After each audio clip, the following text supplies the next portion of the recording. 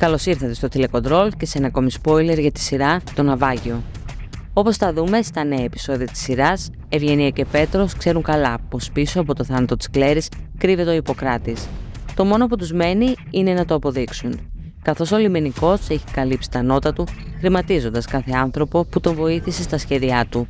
Έτσι αποφασίζουν με τη βοήθεια ενός τρίτου ανθρώπου να αποδείξουν πως ο άντρας είναι δολοφόνος. Πιο συγκεκριμένα, πείθουν έναν άντρα να υποδηθεί τον εραστή της Κλέρης που ο Πανόπουλος υποστήριζε ότι είχε και να πάει να τον αντιμετωπίσει, χρεώνοντάς του τη μυστηριώδη εξαφάνιση. Το σχέδιο είναι παράτολμο και απαιτεί ακρίβεια για να μην καταλάβει ο Ιπποκράτης πως πρόκειται για κόλπο.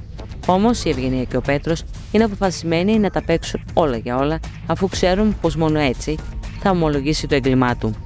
Το κουδούνι του Ιπποκράτη χτυπά και η Δήμητρα ανοίγει. Ένας σοβαρός άντρας, αρενοπός και με τρίο αναστήματος, βρίσκεται μπροστά της και ζητάει με αυστηρό τρόπο να μιλήσει στον Ιπποκράτη Πανόπουλο.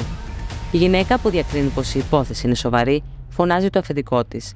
Τι θέλετε, θα ρωτήσει ο λιμενικός, μην μπορώντας να φανταστεί την απάντηση εκείνου που θα έρθει και θα είναι καταιγιστική. Είμαι ο εραστής της Κλέρης, εκείνος για τον οποίο θα σε παρατούσε, αλλά όπως φαίνεται δεν τα κατάφερε αφού τη σκότωσες. Ξέρω καλά πως ήταν η σχέση σας, μου είχε μιλήσει, όπω και για τις απειλές ότι θα τη σκοτώσεις αν φύγει από το σπίτι. Τα ψέματα τελείωσαν. Η αστυνομία είναι ένα μόνο βήμα μακριά σου. Έχω καταθέσει τα πάντα εναντίον σου και καλά θα κάνεις τώρα να ομολογήσεις. Η αντίδραση του Ιπποκράτη θα είναι άσχημη. Την ίδια στιγμή η Ειρήνη ακούει τις φωνές και τρέχει να μάθει τι έχει συμβεί.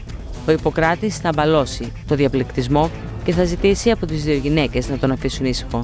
Στην πραγματικότητα θέλει να σκεφτεί τον τρόπο να δικαιολογήσει την παρουσία του, όμως δεν θα τα καταφέρει αφού θα έχει ταραχτεί.